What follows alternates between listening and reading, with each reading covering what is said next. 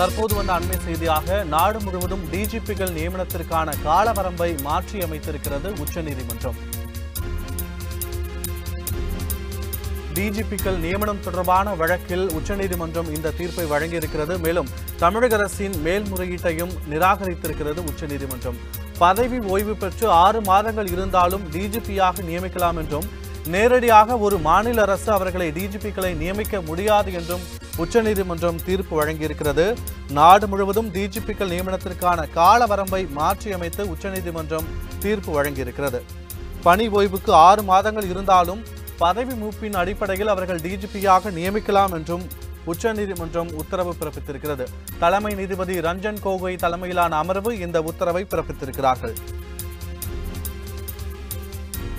மேலும் மாநில அரசு சுயமாக டிஜிபிக்களை நியமிக்க முடியாது என்றும் யூபிஎஸ்சி மூலமாகவே டிஜிபிக்களை நியமிக்க முடியும் என்றும் உச்சநீதிமன்றம் தெரிவித்திருக்கிறது.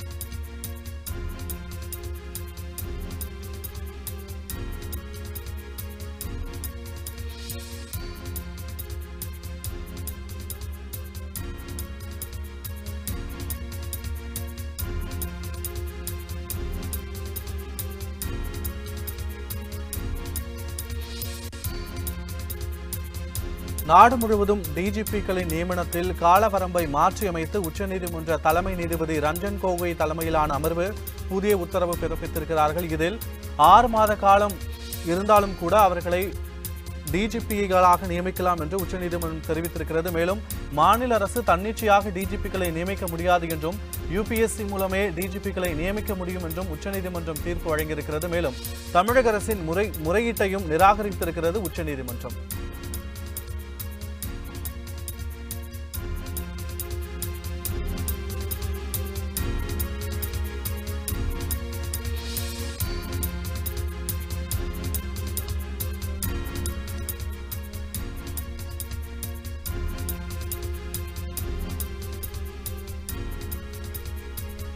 உண்மை செய்திகளை உங்கள் கண்முன் கொண்டு வரும் காவிரி நியூஸின் யூடியூப் சேனலை சப்ஸ்கிரைப் செய்யுங்கள். நொடிக்கு நொடி நாட்டு நடப்புகளை தெரிந்து கொள்ள Kaveri news dot TV Facebook Instagram Twitter போன்ற சமூக வலைதள பக்கங்களோடு எப்போதும் இணைந்திருங்கள்.